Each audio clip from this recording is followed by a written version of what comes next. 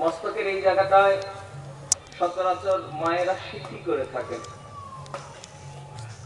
সিদ্ধির আর এক নাম সীমন্ত।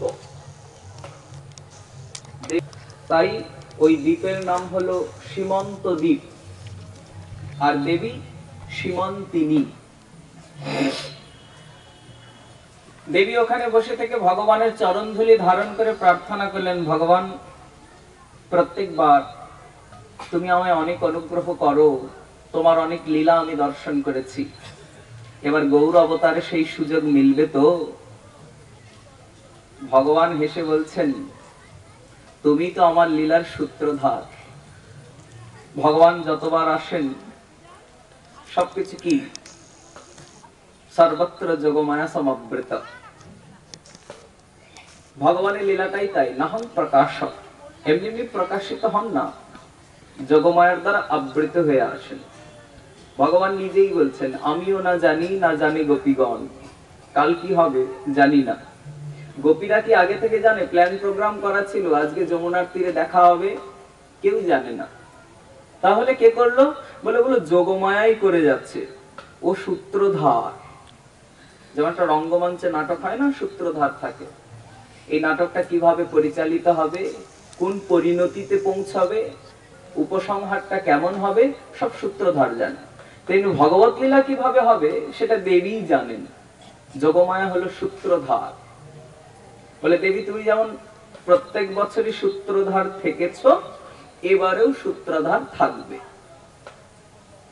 দেবীকে ওখানে করুণা করেছেন, কৃপা করেছেন ভগবান।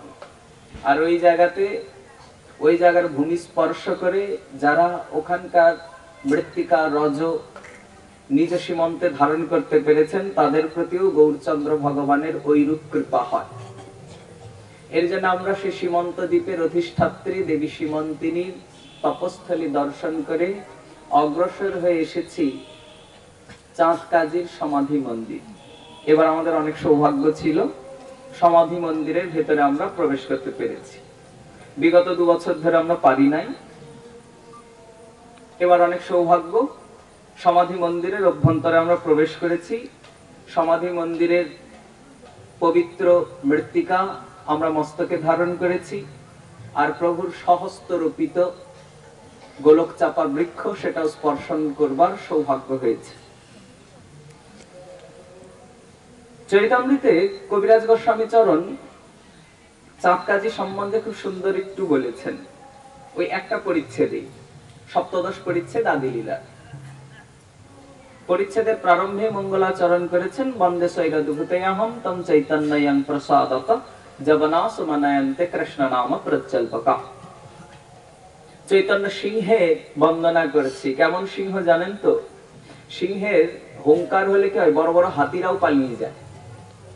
সিংহ রবে যেন করিগণ সিংহ যদি গর্জন করে না, সিংহের থেকে ছোট হাতি সিংহ হাতির থেকে অনেক ছোট, কিন্তু সিংহের গর্জন শুনে বড় বড় হাতিরা পালিয়ে চলে তেমনি তৎকালীন সময় মুসলমান শাসন তো সাধারণ নয়, আর কাজী তো সাধারণ ছিলেন না। চাঁদ কাজী বলা হয় বিভিন্ন গ্রন্থে বিভিন্ন বর্ণনা আছে।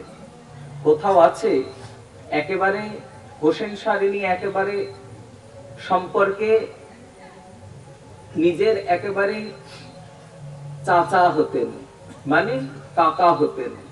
আবার কোথাও বর্ণনা আছে যিনি হোসেন শাহর গুরু। আর ইনি কি করতেন?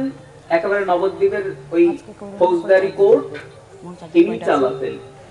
মানে ইনি এক কথায় নবদ্বীপের জজ।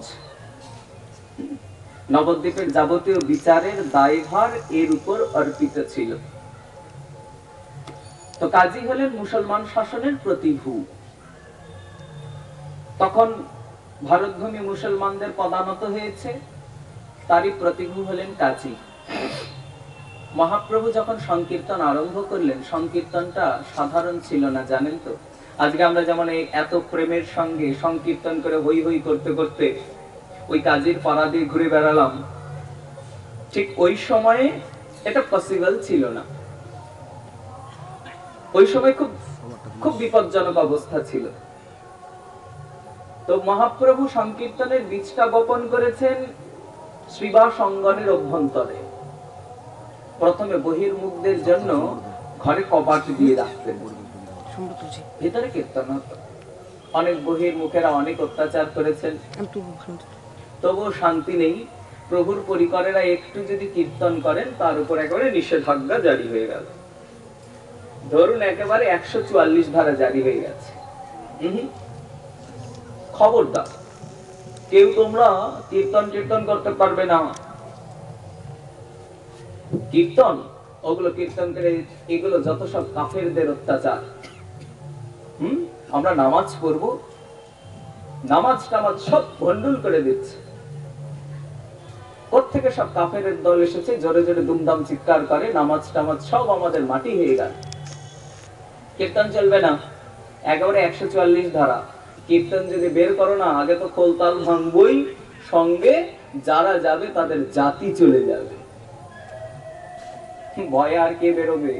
সবাই মুখ কাচু মাচু করে অবস্থান করছে। প্রভুর কানে যখন এই কথাটা পৌঁছে গেল না, প্রভু বলছেন, আমার সংকীর্তন বন্ধ হবে, জগতে কার সাধ্য? সবাইকে ডেকে বলেন শোনো, সবাই রেডি থাকবে আজকে। সন্ধ্যাবেলা আমি কীর্তনে বেরোবো। তোমাদের ঘরে যার যত বাদ্যযন্ত্র আছে, সবাই নিয়ে আজকে রাস্তায় বেরোবো। রাস্তায় শুধু বেরোবো না, কাজীর বাড়িতেও যাব। কাজী কি করে নিষেধ করেছে? সেখানে আমরা যাব।